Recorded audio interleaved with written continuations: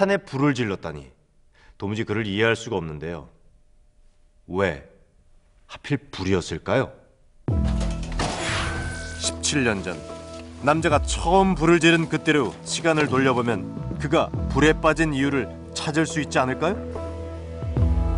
제일 첫 번째 바- 방화를 했다 하는 그, 그 자리가 요 중공업 지산 이걸로 아마 요 자료상으로는 요걸로 추정이 되고요. 남자의 첫 번째 방화는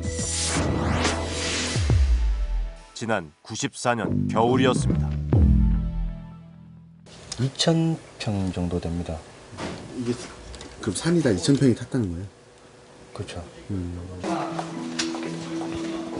처음 산에 불을 지른 그날을 되짚어 보기로 했는데요. 17년 전 남자는 혼자 봉대산을 올랐습니다.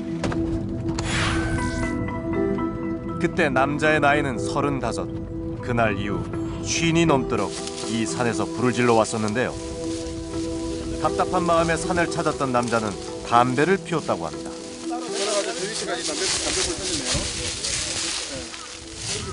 무심결에 바닥에 던진 담배. 안 나면 조금 연기 나다 말하죠, 그죠? 그래서 어떻게 했어요? 라이터를 꺼내가지고 불이 불이 타오르는 거 보고 불 타오르는 거 보고. 그리고 겁이 나가지고 다 옆에 저 타기 전에 나무 소나무 같은 게 있었거든요. 예. 그 소나무 가지고 부터 꺼내가지고 때리니까 예. 때리니까 저 바람이 약간 부니까 확 번지더라고요. 예. 그래서 저는 겁이 나서 음. 밑으로 어디서 저쪽 갔네요. 바로 왔죠. 겁이 났다고 말하지만 실제 그의 행동은 달랐습니다. 불을 보고 오히려 불을 키우고 있었던 남자.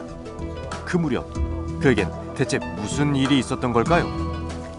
이 팀으로 와서는 좋은 분위기, 좋은, 좋은 분위기였는데 그 전에는 항상 불입당하고 알게 모르게 좀 견제당하고 뭐 이런, 이런 것도 사실 있었, 있었습니다. 상대까지 나고 남자 다 지급하는데 지급한다고 근데 이- 너무 이제 완벽하게 하는 거니까 이제 세사서는 이제 원래 안 해도 될 걸 갖다가 해야 돼 직성 분산하잖아. 아니 꼭 마무리해야 돼 완벽하게 해야 되고. 네네 안 하면 막 미쳐버리니까 정신. 90년대 초부터는 서른 서른 중반 아닌가 한참 일하, 일하고 한참 움직여야 될 그런 시기에 일하는 사람이 일 못하고 누워있다는 것 자체가 힘든 거죠. 힘들다는 말 한마디 밖으로 꺼내지 않았던 남자. 평범한 직장인과 가장이란 가면 속엔 뒤틀리고 억눌린 또 다른 얼굴이 있었습니다. 그에겐 불이 탈출구였던 겁니다. 안녕하십니까. 왜 그리도 불에 집착하고 불을 지르는 것에 만족해했던 걸까요? 남자와 좀 더 깊은 얘기를 나눠보기로 했습니다.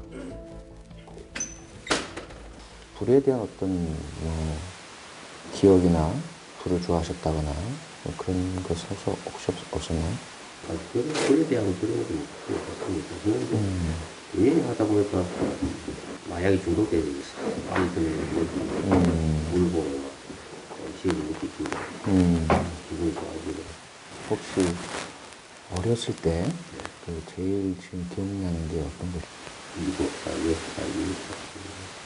아, 아버님이 그때 그, 그 산바람 불어가지고 그때 어디 가지고 뭐 아주 꼭 따뜻한다 아, 뜨겁다 하고 느낌.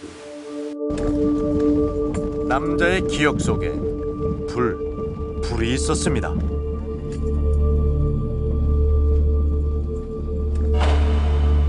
그의 어린 시절을 따라가 보기로 했습니다.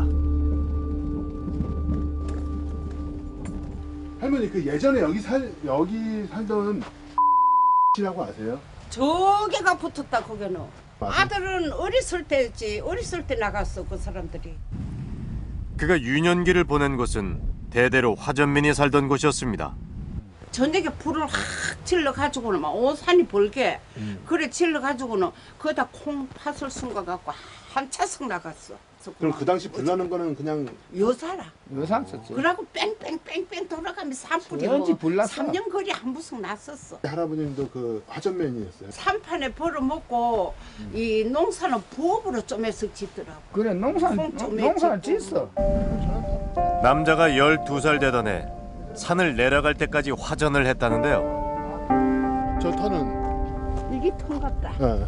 이게 터다 저 삐딱으로 했네 요